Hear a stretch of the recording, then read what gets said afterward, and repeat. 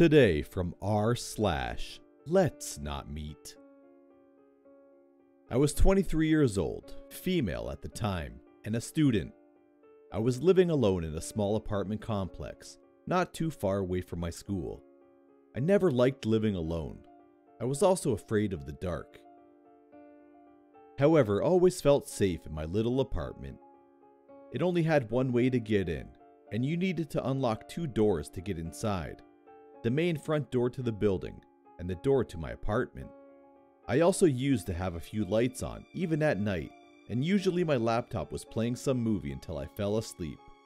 I always locked my door, except this one time. One weekend I was out drinking with my friends, and I was going back home, and I ended up sharing a taxi with a random guy that was going to the same area as me. We both jumped out of the taxi outside my place and talked for a little while. He was about the same age as me and said he was also a student.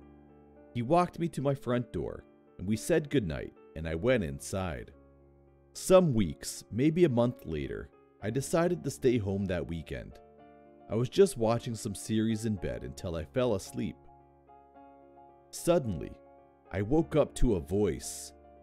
I couldn't really hear what the voice was saying, but I could hear a man talking. I opened my eyes. The room was dark, but I could see a shadow standing in the doorway to my bedroom. I froze. My adrenaline started pumping. I couldn't scream. I just kept staring at the figure. I thought I must be dreaming. This has to be a nightmare. But I understood quickly my biggest fear had come true.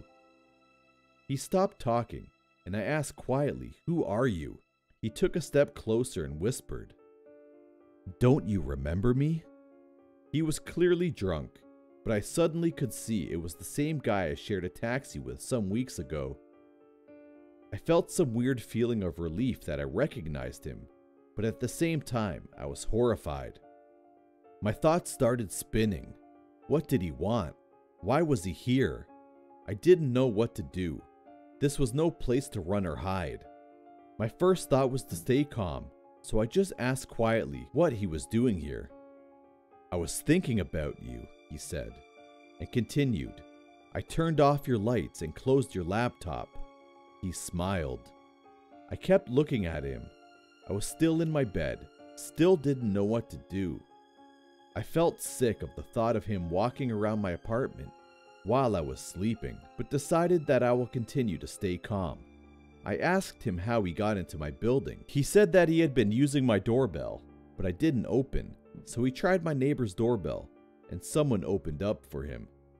He also went into my neighbor's apartment, but realized it wasn't mine. Then he saw my name at the door and went in. I think he could see the fear in my eyes. He suddenly turned around and said, I think I should go. He stumbled out and I went after him. Right before he left, he said, you should really lock your door. I shut the door in his face and locked it. I went back to bed and cried. I didn't sleep for the rest of the night. I never called the police, but I told my friends the next day. The following month, someone would ring my doorbell every now and then in the middle of the night.